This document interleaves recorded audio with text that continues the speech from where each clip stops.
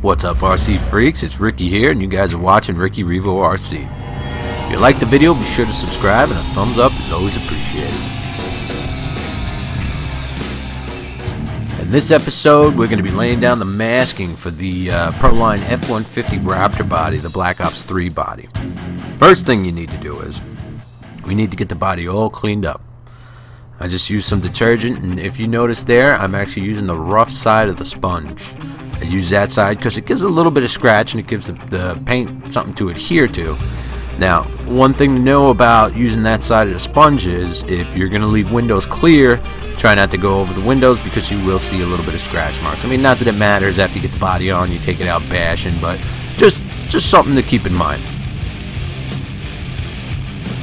Alright, once you're done, you know, obviously we want to get that thing cleaned up, get all the water off, you know, you don't want nothing in there when you're laying down your mask and stuff like that. It's the worst thing. You get a little drizzle of water come out while you're trying to do something. It just wrecks everything. So you want to make sure that everything is nice, dry, clean, all that good stuff. Clean the outside because you, you see all these watermarks and you're like, where are they? So just make sure you clean the outside. There we go. Alright, now we're going to start laying down the masking. Now when you lay down masking, you want to kind of, you really don't want to overlap the tape too much. So you want to actually get the most out of your tape. You want to keep the overlaps very small, very minimal.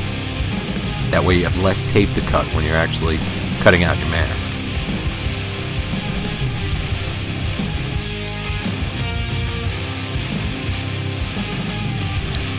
Anytime I do something on the hood of the car, I always lay the first piece of tape right dead center. You know, you kind of eyeball the center as best you can, and then just kind of work the tape out from there. That seems to work out the best for me. You know, it just if you start from one side, yeah, hood's are never really straight, so you actually get like a kind of a weird angle, and everything just comes out kind of weird. So I always just start right in the middle, and it's been working out for me. So. Once you get all your tape down, you see there, just make sure you push all your tape down. Push it into the little grooves and the body lines and all that stuff. You want to kind of get it all in there because you kind of don't want any bubbles or anything like that.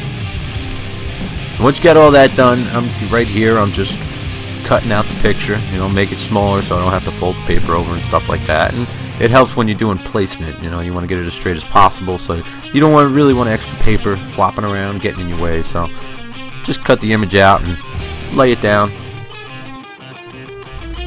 Once you find a spot you like, just go ahead, tape it down, make sure everything's straight, all that good stuff. And there's a bunch of different ways. You can use the lines in the body and the distance between the paper and all that stuff. You can just eyeball it. When you eyeball stuff, I think it comes out the best. Same thing here. You know, we're just going to trim out the picture. This roof was actually not too bad. I was able to actually see the picture through the piece of paper and there's actually lines in the roof so I was actually able to feel it out and kind of look where everything was sitting. So it was a little easy to center the roof on this one. I mean it's just three lines going against another set of lines you know? Just set it down get it where it's got to go and same thing tape it down good to go. So here I am transferring the pattern to the tape.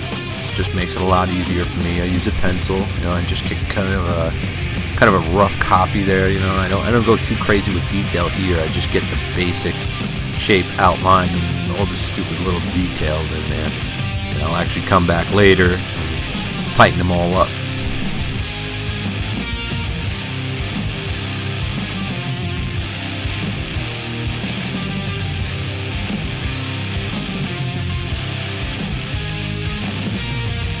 Yeah, same thing on the hood.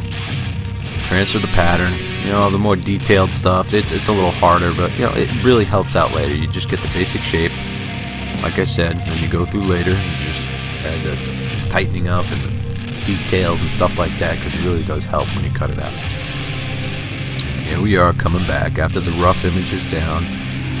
Like I said you just go over everything you tighten everything up and you know, something looks a little wonky or you don't like how it looks you, this is where you repair it. And that's why I use the pencil because it's thin, it's forgiving, and realistically, if you mess up, you can erase it. There we go. Everything looks pretty good. I got it kind of cleaned up, looking okay. So now we can go ahead, cut this, uh, cut this mask out. This is where you want to take your time, guys. You don't want to overcut. You don't want to undercut. Just go slow. It'll get done. The slower you go, the better it comes out. So.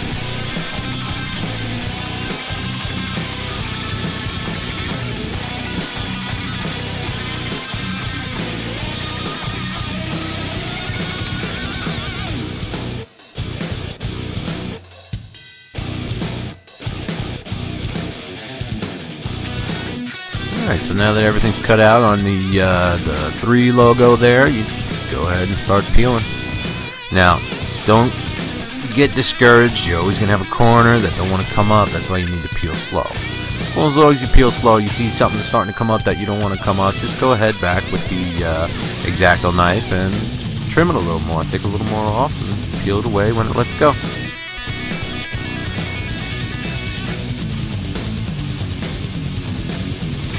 This part is definitely my favorite part, peeling away the mask, because all that hard work you put in trying to make everything look good, you know, you laid it all down.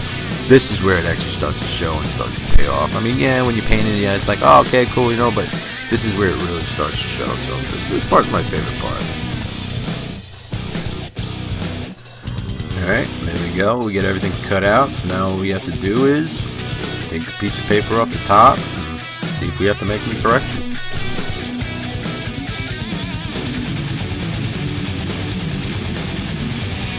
Alright, after a few minor corrections, I think we're good. I think the roof is ready to be painted.